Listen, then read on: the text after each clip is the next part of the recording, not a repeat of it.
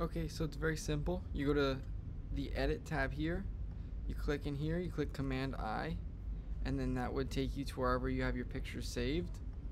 Once you have your picture saved, you would just bring it in like this onto the timeline, find a space in there, and then once you click on this color tab, it brings you to something like this. You could zoom in and out. If you want to cut this out, you're going to have to zoom in a little bit. And then go down here right here click on here this circle thing and then go down and click on this pen. And then with the pen you could draw exactly what you want to cut out. Like this one here is cut out so you can draw exactly what you want to cut out. You have to control click here and say add alpha output and that blue thing would appear then you drag it to that. And then you would click on here, right click, you can say grab still.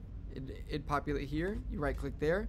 You can just say export, and then you can export this as a PNG or a JPEG.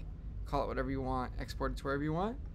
And then so you cut out that piece, but all you have to do is click here, and it gives you the other piece, the negative of it.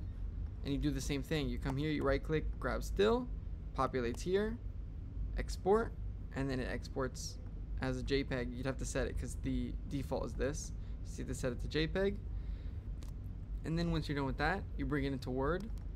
You double click here. You go to remove background.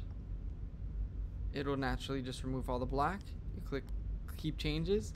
And there you go. Now you could right click, save picture as, and then you could save this as a PNG.